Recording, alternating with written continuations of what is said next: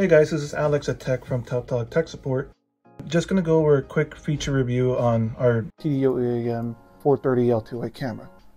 One difference here you could see between the original model, the TDO EAM 4302SA, is this camera right here, 4302A, has two LEDs.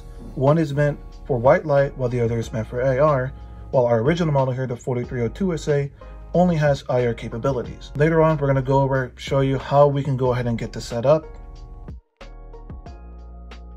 Alright guys, so right now I'm going to go ahead and walk you through on how to enable the dual light feature of our new TDO EAM 430L2A camera.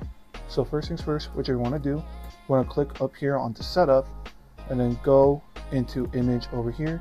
By default, it should already have the feature enabled, but it doesn't hurt to always double check go ahead and click on illumination mode and by default it should already be enabled set to dual light and on global mode. Once you make sure that go ahead and go into event. We're going to go ahead and just set up for ultra motion detection which is just smart motion detection.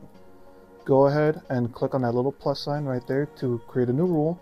We're just going to leave it as is because we just want the entire screen covered. Once you do that make, I'm going to go ahead and remove vehicles since we're only going to be looking at people here and once that's done, you want to make sure to enable it up there at the very top left of the corner. Once you do that, click on save and wait for that little message to appear saying that it's correct.